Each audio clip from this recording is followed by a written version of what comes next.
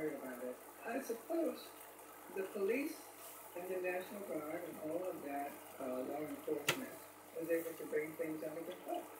And then at some point you realize, as, as, I'm sure as a, as a young gang member or as a young person or as whoever was driving, would realize, okay, we, we, we better not go back on these street today.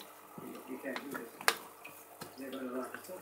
Ben's Chili Bowl was one of the few businesses that went untouched. My husband put a sign in the window that said Soul Brother.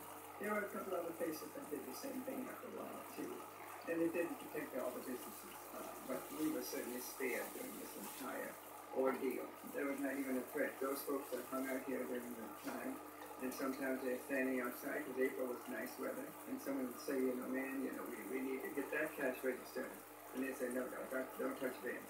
Ben's is our place, don't touch Ben's. And Virginia, what was, what was the Soul Brother sign meant to represent? Well, it represented black. It represented African American. The fact that we were an African American owned business. And was there any sympathy at all the rioters? I didn't feel sympathetic because I thought that this is, didn't prove anything. This didn't, uh, this wasn't what Dr. Martin Luther King would have wanted. This, this very peaceful man trying to bring peace and equality. And for him to be taken away so young, I think it just frustrated folks to know anyone who just, just ignored us. When the riots were over, 39 people were dead, more than 2,600 injured, and 21,000 people had been arrested. Although the riots were triggered by the assassination of Dr. King, Virginia Ali believes there were about even more than that.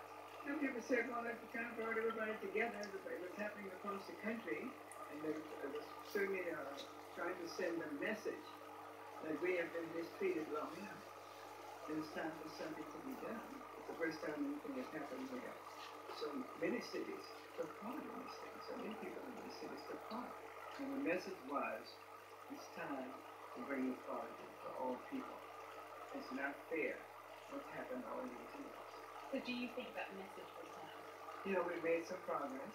We still have a ways to go in terms of education and stuff, but we made some progress in terms of racial relations. I was thinking, I'm hoping, I certainly didn't think in my lifetime we'd have a black president. Not only did we have one, but he was re-elected. Uh, I- think we have to call that progress. Virginia Ali was talking to Farhana Haider, and if that subject was one which particularly piqued your interest, let me draw your attention to the excellent Black History section that we have on our website. You'll find a wealth of first-hand witness accounts of events charting the struggle for equal rights, not just in the US, but in South Africa, Australia, and elsewhere. Just search for BBC Witness. Post-colonial African politics in the 1970s next. Without doubt, one of the most prominent figures from that period was Idi Amin, Uganda's brutal dictator, whose eight years of rule left his country demoralized, divided, and diminished on the international stage. Eventually, Tanzanian troops invaded Uganda and ousted Amin. His downfall marked the end of a six-month conflict between the two countries, which had been triggered by Amin's ill-fated invasion Tanzania. Alex Last reports.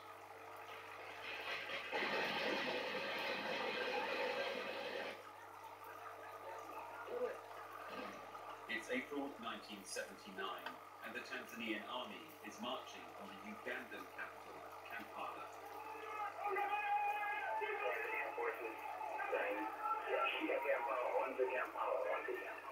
Six months earlier, Uganda's brutal dictator, Idi Amin, had sent his forces to invade and occupy a chunk of northern Tanzania.